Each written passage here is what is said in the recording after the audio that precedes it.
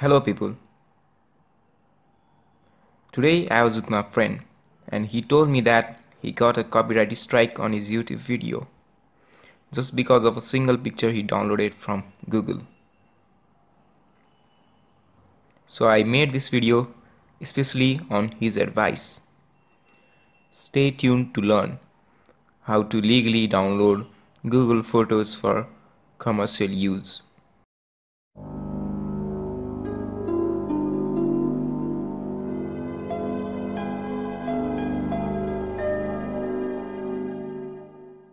This is my channel NepaSaga Tutorials.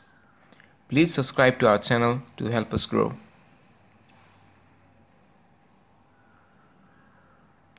Now let's go to Google and then search for image you want to for commercial use. I am searching for furniture.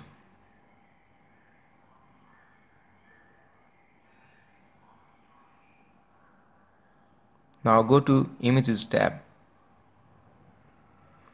Here you can see number of pictures but most of them are copyrighted.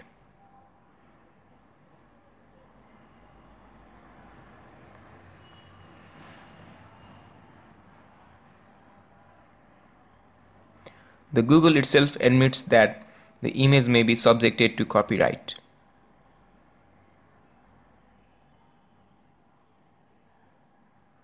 So now to find photos for commercial use, go to search tools option and then select drop down menu reading uses rights. In that menu you have to select label for use with modification. Now all the photos filtered can be commercially used. Let me visit site of any one of them.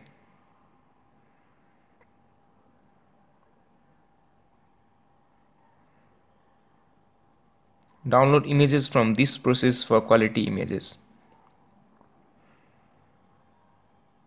You can also see text reading that the images is free for commercial use. That is, you will not be copyrighted to use the image wherever you use it. See you soon people. Till then, watch our other videos.